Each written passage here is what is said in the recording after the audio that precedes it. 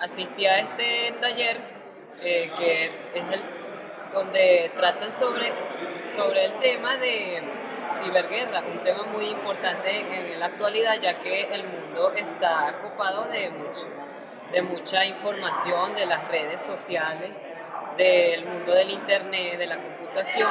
y entonces actualmente llama mucho la atención lo que es las cosas del área informática, el área de,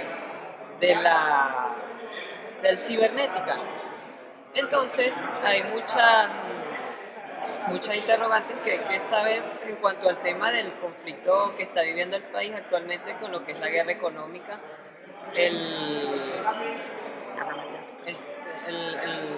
las acciones que ha tomado la oposición en contra de la República Bolivariana de Venezuela y de, nuestra, de nuestro comandante, nuestro presidente constitucional,